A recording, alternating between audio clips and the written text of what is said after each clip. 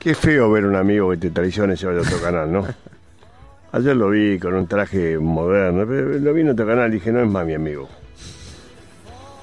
No te contesta. Los canales no, no terminan las amistades, Mauro. Hay que... Siempre soy tu amigo, Mauro. No, ayer que te vi dije, no, este es amigo de Feynman, no, ya es otra cosa. Feynman es enemigo, se fue a otro lado. No, no, no, no.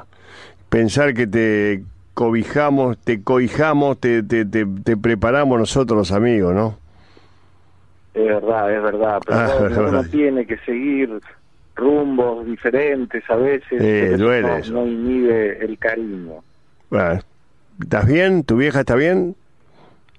Bien, sí, bien, bien. Mi mamá está bien, con algunas dificultades en su cadera, pero Ah. bueno, está llevándola a la viejita. Vamos a ver qué pasa. ¿Viniste acá por ella? Me, te vi ayer, no sabía que estabas acá. ¿Estás acá por Sí. la vieja? Sí. Sí, sí, sí, sí, sí, sí. Todos los meses venimos con mi hermano a visitarla eh, para que se le haga un poco más fácil.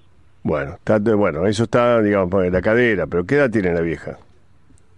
79, está justo Bueno. en el límite, no se puede vacunar todavía, entonces no la pueden operar. Ah, ¿no pueden vacunarla? ¿Por qué? No. Ah, porque hasta que no, ah, más ah, 80, faltan los 70. Sí. Claro, pues está ahí, le podrían dar, la, la verdad, le dieron a tanta gente la vacuna, se la podrían dar, no dejarse joder si necesitan. No, no, hay mucha gente igual, así que hay que esperar un poquitito. Bueno. hay que esperar, vamos a esperar un ¿Cómo poco. estás, Gustavo, vos con el cambio?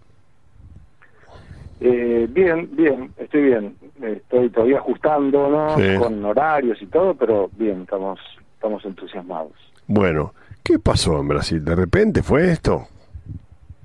Sí, medio loco, Mauro, porque este ministro que lo coloca el gobierno de Dilma Rousseff, y lo digo esto no despectivamente, hay videos que lo, lo muestran aclamando a Dilma, eh, se había manifestado a lo largo de todos estos seis años de procesos contra Lula de una forma bastante medida, y de repente le da un habeas corpus donde anula todos los procesos que se hicieron en Curitiba. Esto no tiene que ver con Moro, es importante mencionarlo, tiene que ver con la jurisdicción.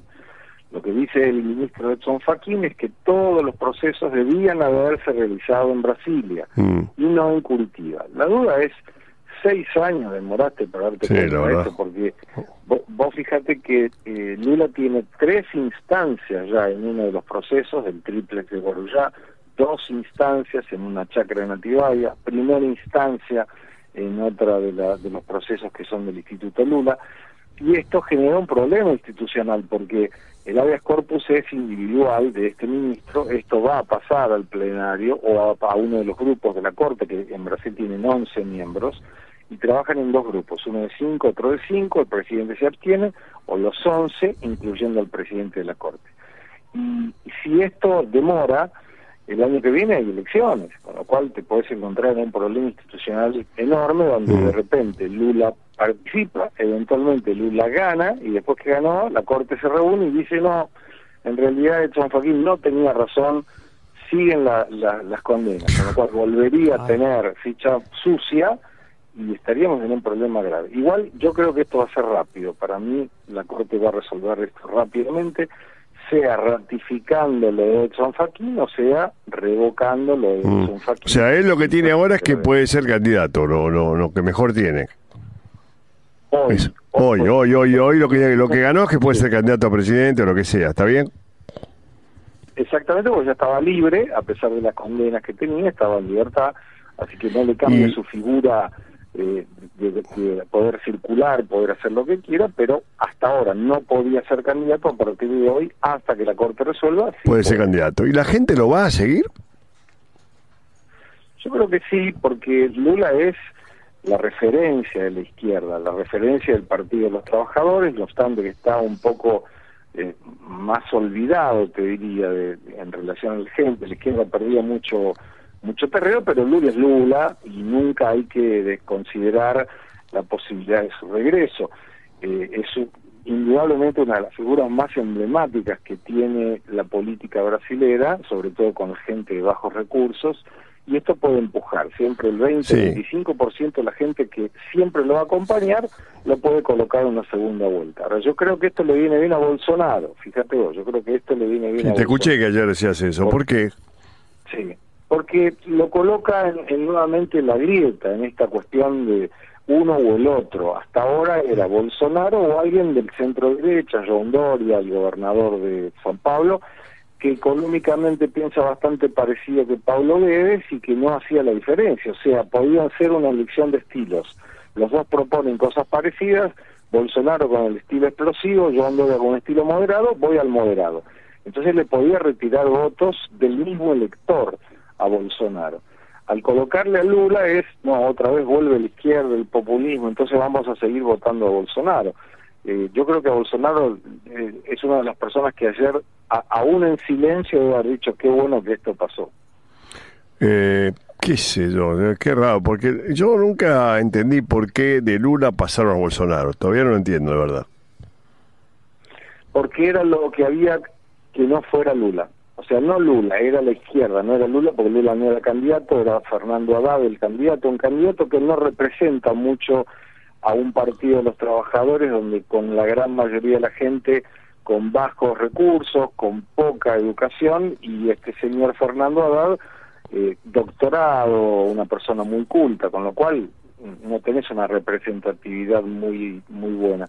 Pero eh, había mucha denuncia de corrupción, el país con Dilma Rousseff había caído económicamente mucho y siempre esa es la premisa, o sea, cuando vos tenés en tu casa comida, cuando podés darle educación a tus hijos, a pesar de que la ideología no te acompañe, bueno, uno acompaña, digamos, a ese, a ese gobierno independientemente de si es de la izquierda, de la derecha, de lo que fuere.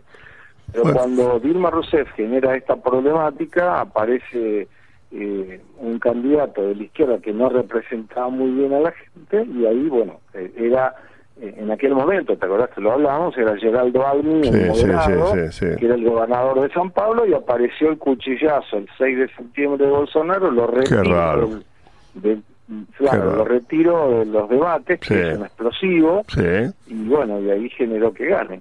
¿Te acordás que dijimos que no tenía chance? Nos equivocamos los dos, ¿no?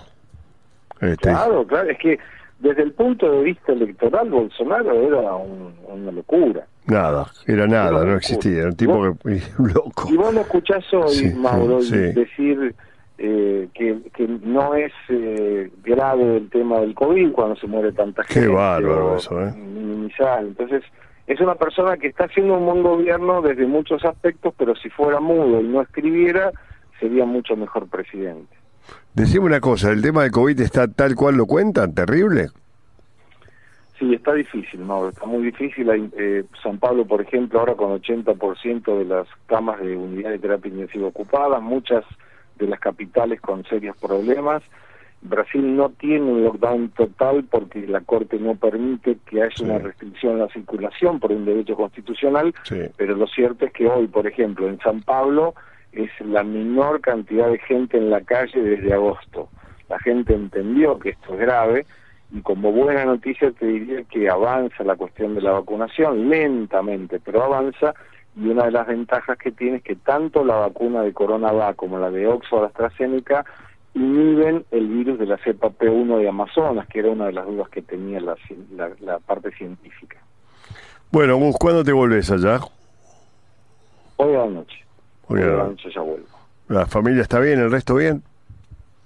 Está bien, todo bien, sí, sí, todo bien y y entusiasmado porque mañana en la noche hacemos una charla con López Murphy para ah, hablar sobre cuestiones vinculadas al, país. Sí, sí, estoy muy entusiasmado, tengo una gran admiración por Ricardo, así que para mí es un privilegio acompañarlo. ¿Está allá en Brasil o, cómo? está en Argentina, yo desde Brasil y vamos a hablar, se llama Los Dilemas de la República. Que es una charla por Zoom, que como técnica y tecnológica, ¿cómo la Exactamente por, ah. por Zoom y la gente se puede anotar a través del Eventbrite y es gratuita, por supuesto, donde vamos a estar debatiendo sobre qué es lo que se puede hacer para que Argentina de una buena vez encamine en el curso del crecimiento.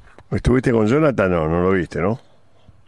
Lo vi, lo crucé ayer en el pase, sí, lo crucé ayer en el pase, pero no estuve hablando con él individual. ¿Está agrandado ese pibe? No, no, Jonathan tiene, es de buena cepa, Mauro. No, eso seguro, pero puede estar 4-1 hizo ayer, una bestia. Sí, no, bien, bien, es, es, muy buen periodista y bueno, además eh, trae temas que a la gente le interesan. Y ah, mierda, invocó eso, ¿eh? Qué bien los temas que, que mucho, mucho. Hacer mucho. cuatro Sí, puntos en un cable que tiene una semana y de nuevo y, y hacerlo un pibe embocó. Yo me acuerdo cuando estaba en Rivadavia y me dijo, y bueno, antes de Rivadavia quería jugar a ser periodista en radios chiquitas, jugó un tiempo y ya lo hacía bien. Le dije, pero vos tenés estar para venir a Rivadavia. Y vino a Rivadavia. Fantino lo puso ahí, mira ahora, años después lo tenés este líder del cable en la Ah, muy televisión. bien. Muy bien, muy bien. Te mando un abrazo, Gus. Chau. bueno. Gracias, querido. para vos, Mauro. Un Chau, gracias. Gustavo Segres, tu amigo. 7.47 de la mañana. ¿Qué más hay?